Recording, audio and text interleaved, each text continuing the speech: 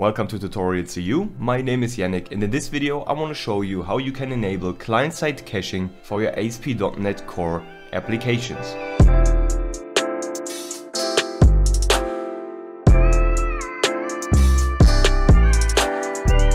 So client-side caching refers to storing web resources such as images and scripts. So for example CSS, JavaScript and nearly everything what's inside of your wwwroot folder right here. So to enable client-side caching, you simply go to your program.cs, scroll a little bit down and right here where you should see something like use routing or use HTTPS redirection, we can simply add app.use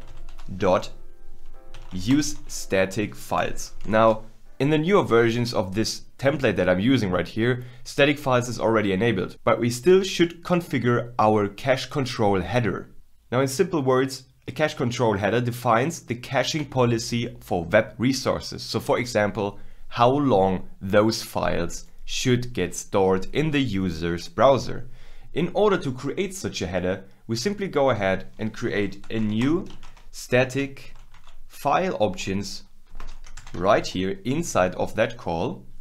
Let's say on prepare response equals to context and then goes to, let's create something new here. Let's create a constant int duration in seconds, for example.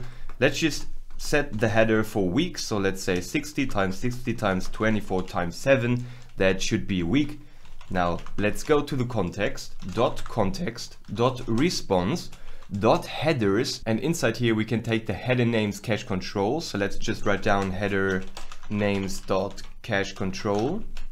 There we go. And we can set the value for this cache control header to be, let me just bring that into the next line of code. We set the value to be public as a string and then set the max age to be equals to our duration in seconds. There we go. Now our cache control header is configured in a way that all of our static files like images, JavaScript and CSS is stored in the user's browser for a week. Awesome, and that's the first part of this video, so that's how simple it is already. Now next up, let's add another type of caching, which is storing the created responses of requests in the cache. But before we move on, this is our C Sharp Progress Academy.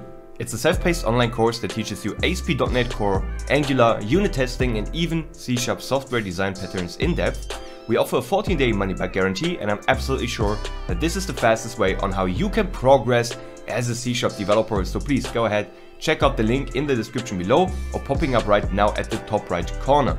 And if you haven't subscribed already, please go ahead, like this video and subscribe to our channel so that you no longer miss any upcoming C-Sharp and .NET related videos because we want to help you become a better C-Sharp developer and you should be interested in that. So let's move on to enabling response caching.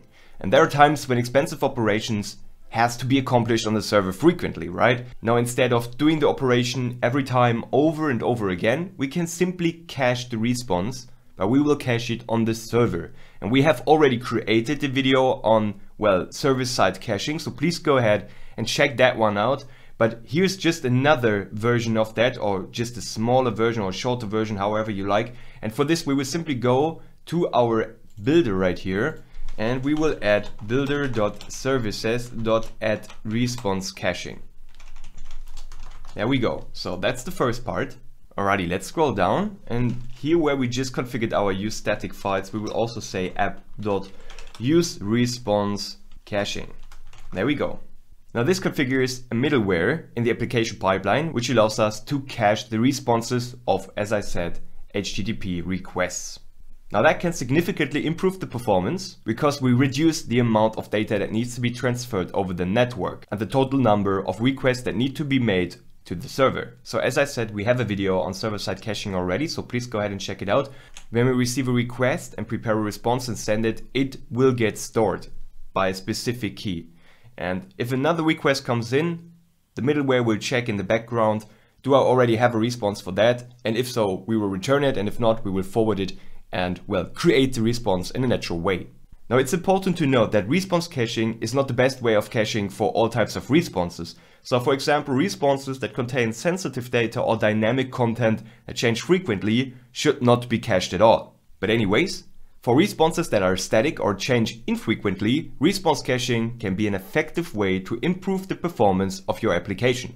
So as I said, if you want to take it to the next level, go ahead, check out our other video on server-side caching. Alrighty, and that's it for this video. So please go ahead and subscribe to our channel. Check out our C Sharp Progress Academy if you want to boost your C Sharp skills.